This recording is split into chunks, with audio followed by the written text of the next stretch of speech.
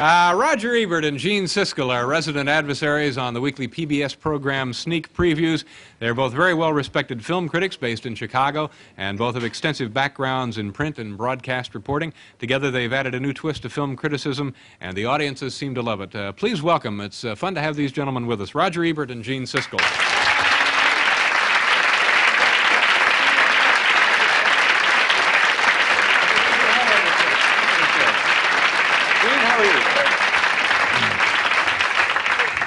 I would give that film four stars. You like that, I huh? like the film. uh, there was a, it, it imitates a film we just saw, Venom, which had a snake's point of view. Here's a dog's point of view.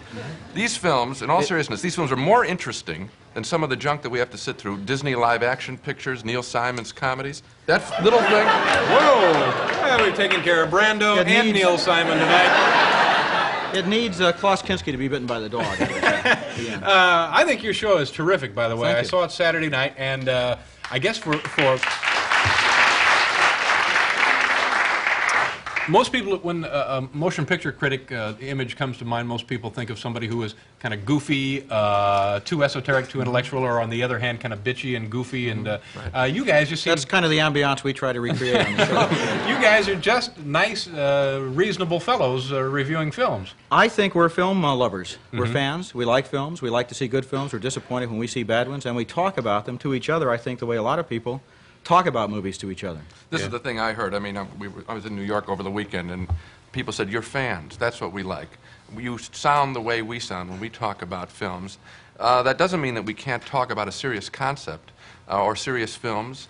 Uh, it's just that we do it from a point of view of loving the work, appreciating it, and not taking cheap shots. When I said the Neil Simon remark, that may have sounded like a cheap shot, but it is based on having sat through a lot of his films, and they are not particularly good of late. Ever since he moved to California, I don't think coincidentally, uh, he uh, has not done very good work. And I, I would just say it honestly.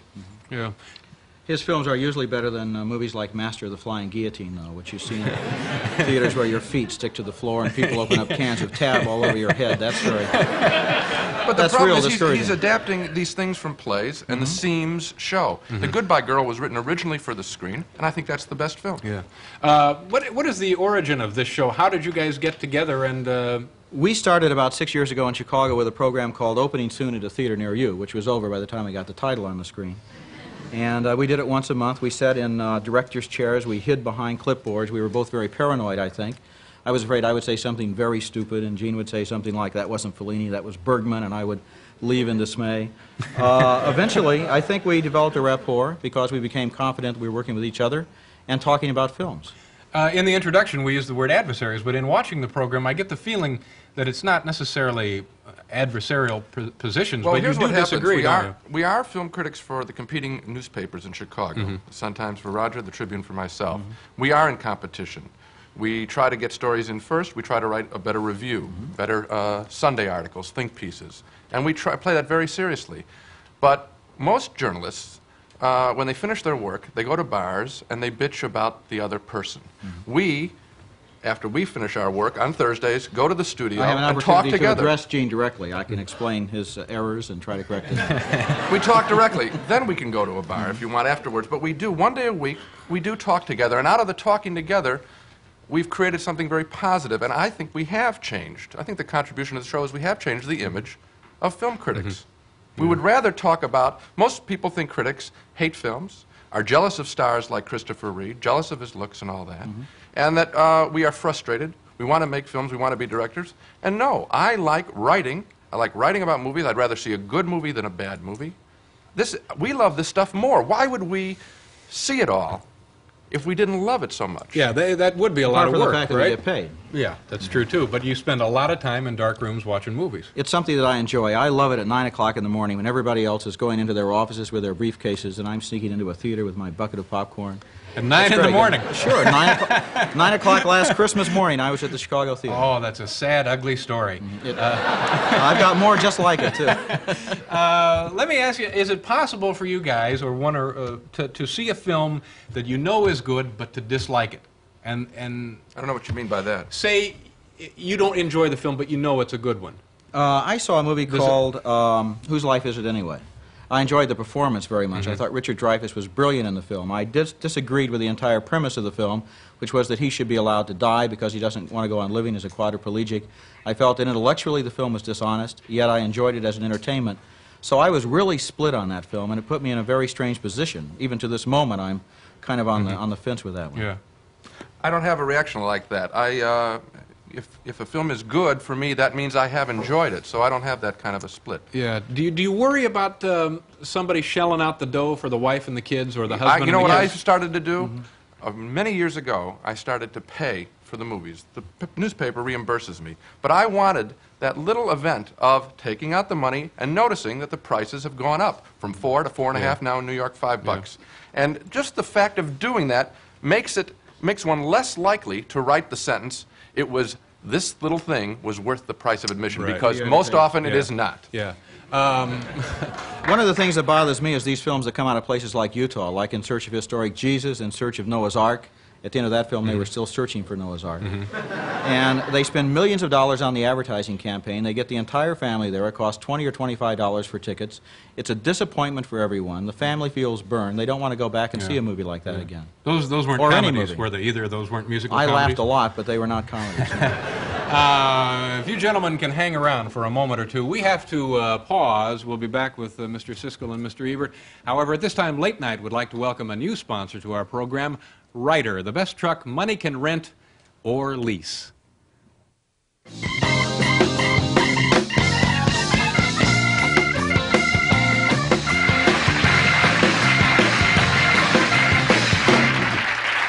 Hi there, and welcome back to the extravaganza. Uh, Gene Siskel and Roger Ebert are here, and we're talking about your uh, television program, which is Sneak Previews, and uh, a wonderful show. Now, it's PBS. You probably couldn't do that on a commercial uh, operation. we would probably not be able to show so many movies that are not commercial movies. We show documentaries, independent films, and foreign films. If we were on a network, they'd probably want us to show Superman every time. There may be a flow, too, that and a continuity we can refer to. We know what you mentioned before. Here's the, the same thing going on in mm-hmm. this film. Yeah. That if it's interrupted by a commercial, I think mm-hmm. it would make us less likely. And so we would do little beat, little uh, pieces and try and hit peaks right before the commercial break, which is the problem with made-for-TV movies as opposed to regular movies. Right. With, you can have a flow. You can have visual references that can make sense and moments of recognition. These made-for-TV movies, you got to hammer them right before the commercial. Someone's going to get distracting nailed. to see a made-for-TV movie all the way through without commercials because it kind of Yeah, it's designed Goes like- in that framework. Uh, tell me about uh, I, show, I saw your show, show Saturday night,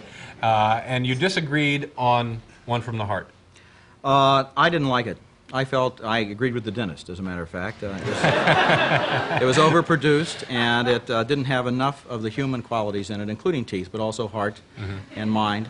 Uh, I thought the actors at all times were overshadowed by Coppola's amazing production, which was great to look at, and I enjoyed the movie on that basis as a technological achievement. But the technology totally dwarfed the people in the film. The first time I saw the picture at this big Radio City Music Hall showing here in New York a few weeks ago, I had pretty much that same reaction. I saw it again in Chicago before I reviewed the film. I was told that some changes were made, so I felt that I was obliged to see it again. I had spent more time with the characters then. In effect, I had spent four hours with these characters. And I felt that the more time I spent with them, the more I got to feel for their situation. This is a couple busting apart right at the beginning. And what I really enjoyed about the film was the fantasies. Each person pursues a fantasy, and people who have ever been in uh, relationships that are failing have this drive. And I found that the fantasy figures, Raul Julia for Teri Garr and Nastassja Kinski uh, for Frederick Forrest, that these fantasies were charming, and the drive for fantasy, that, that moment of losing yourself in the fantasy, I thought was very exciting, and I would see the picture a third time. But don't you feel if you're trying to make a lightweight romantic comedy, it's a bit much to ask people to see it twice? Don't you feel that Coppola could have made a film in which the human values and the fun and the fantasy and the escapism would have been there right away? If First- I felt that he could have had more in the beginning of the picture, if we're going to follow this couple for two hours, I felt we should have known them better as the film opens. And I still say uh, that that's what's wrong with the picture. One of the interesting things about our show is trying to make qualified remarks. So much uh, of criticism is simply thumbs up and thumbs down. And I think that one of the things we try and do in a longer discussion on the show not just the normal uh, film criticism that you get with one person sitting in front of the camera introducing the film clip and saying it's stuck, is that we try and mo- uh, moderate our opinions. I do think the film is flawed. There's no question about it. It's just that on our show I have a time to tell you that I did see it a second time and that it got to me. Can I say Great. something? um, I, I think your, your point is an interesting one, and you, you mentioned earlier, Gene, that uh, once you start paying for these suckers, you're a little more um, tentative with uh, Movies aren't that expensive, though. I think four dollars and a half or five dollars today in 1982 is not that expensive Compared compared, to what other- plays? Yeah. I just saw a play here over the weekend. 30 Forty bucks bucks. Forty bucks. Yeah. And the folks here tonight, what'd you pay? 20, 30 bucks a pop? Just to get in here.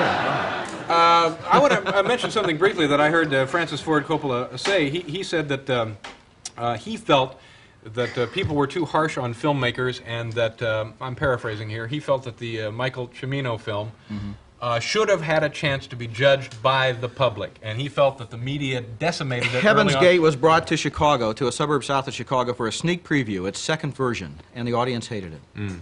Before the critics got a chance at it the second time around, Yeah. and the audience uh, in that particular suburb had not wasn't aware of the New York critical reception, didn't know that the returns were already in, had not heard of the film in particular. I think it's an objectively a bad film. They tried No, it it's twice. not a they good cut film. it. Well, his point was, not having seen the film, I don't know what I'm talking about here, which is true in most cases.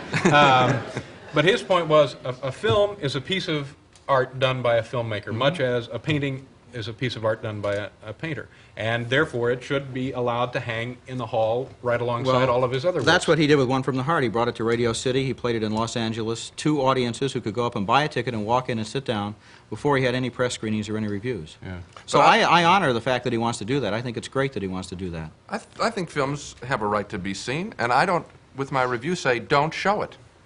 Yeah. I just say I can't recommend it. We, Our language is very specific on the show. C- I can recommend it. I cannot recommend it. I'm not saying don't go to see it. All That's we your really, decision. All we really have, have is our opinions, Okay. our subjective Let me opinions. let me move along here to uh, the Academy Award nominations. Anything here?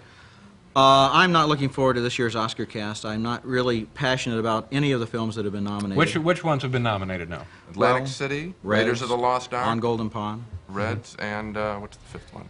Chariots of Fire. Chariots thank of you. Fire, Chariots of Fire. great film. But And- not a, a groundbreaking film. In mm-hmm. years past, with movies like Bonnie and Clyde and Nashville, I've really been involved. I thought those pictures represented something. If you're going to handicap uh, the Oscars, it's going to be Reds versus On Golden Pond. Mm-hmm. And I don't think it makes a difference to me, I don't think to Roger, or maybe even to people here, which wins. Mm-hmm. I think it could be a very dull show. Do you care?